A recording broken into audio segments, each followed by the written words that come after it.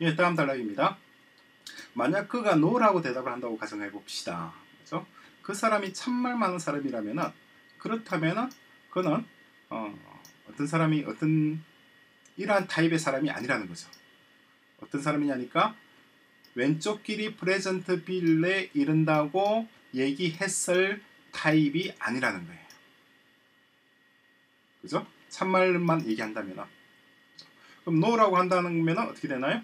어, no라고 하면은 왼쪽 편길이 프레젠트 빌로 가는 것이 아니라 오른쪽이 간다고 오른쪽 편길이 프레젠트 빌로 가는 길이라는 거죠. 그죠? 그러니까 참말 많은 사람이라면 이 사람은 no라고 대답하는 것이 맞겠죠. 그죠? 왜냐니까 뒤에 부연 설명이 있습니다. 이건 부연 설명이라는 뜻이에요. 세미콜론. 그죠? 부연해서 다시 설명하는 겁니다. Only a liar. 거짓말장이만이 그렇게 얘기를 했을 거라는 거죠. would. 그죠? 이거 보니까 would. would라고 하는 것도 마찬가지입니다. 이 could도 있고 여기 would도 있죠. 음. 그러니까 과거 시점에서 바라본 미래입니다. 과거 시점에서 바라본 will의 과거형이죠. 그죠? 왜냐하면은 거짓말장이는 그렇다고 아마도 주장했을 거예요. 실제로는 오른쪽 길이 프레젠트 빌로 가는데 왼쪽 편 길이 프레젠트 빌로 간다고 아마 얘기했을 거라는 거죠. 그죠? 그러므로 어, 실제로는 그렇지 않단 말이죠. 왜냐니까 오른쪽 길이 프레젠트 빌로 가야만 되는 거, 연결되는 길이랑 길이기 때문입니다. 자 다른 한편으로 그 사람이 거짓말을 하는 사람이다 하는 말이죠. 거짓말하는 사람이라면은 그렇다면 그는 뭐라고 얘기할 거예요? 그 사람은 왼쪽 편 길이 프레젠트 빌에 간다고 아마 얘기를 했을 겁니다. 실제로는 오른쪽 길이 프레젠트 빌로 가죠. 왜냐니까 그는 어 왜냐니까 어, 뒷부분부터 다시 보겠습니다. 왜냐하면은 거짓말장이는 왼쪽 길이 프레젠트 빌로 간다고 주장을 했겠죠. 그죠? 그랬기 때문에 실질적으로는 오른쪽 길이 프레젠트 빌에 가게 된다는 거죠. 이 부분을 뭐라고 해석할지 애매하네요. 마지막 문장까지 다 같이 보도록 하겠습니다. 어, 이것은 that 이하를 증명합니다.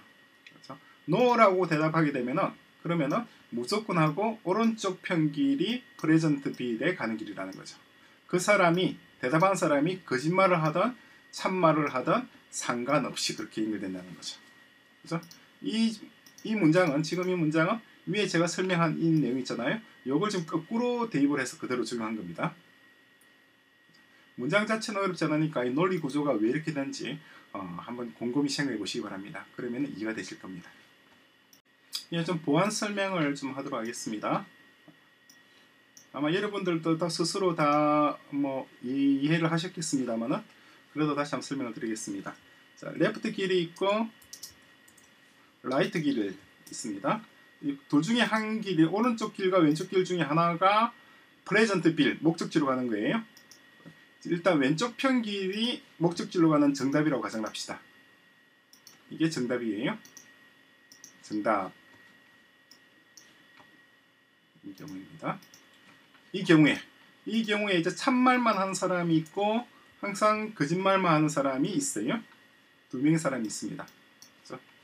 이 사람에게 물어보는 겁니다. 뭐라고 물어보냐니까 왼쪽 편 길이 프레젠트 빌로 목적지라고 물어봤다고 하면은 그렇다고 대답을 했을 했겠습니까? 라고 물어보는 거죠. 제가 만약에 여러분에게 여러분에게 왼쪽 편 길이 목적지로 가는 길이 바른 길이냐고 물었을 때 어, 여러분들은 그렇다라고 대답했겠습니까? 라고 물어보는 거죠. 그러면 이 사람은 뭐라고 대답하겠어요? 이 사람은 참말 많은 사람이고 이게 사실 그렇잖아요. 그러니까 어, yes라고 대답하겠죠. 근데 이 사람은 뭐라고 대답할 것인가요? 이 사람은 아니죠. no라고 대답했겠죠. 거짓말 해야 되니까. 그죠? no라고 대답을 했을 사람이니까 어, 나는 no라고 대답을 했을 사람이야 라고 말해야 되겠죠. 그죠? 그죠? 근데 no라고 대답을 했어야 될 사람이라는 것 자체도 또 거짓말을 하는 거잖아요. 그러니까 또 yes라고 대답하는 거죠. 거짓말에 거짓말이 되는 거죠. 이해되시나요? 그래서 거짓말장이도 yes라고 대답할 것이고 참말하는 사람도 yes라고 대답할 거라는 거죠. 이게 정답인 경우.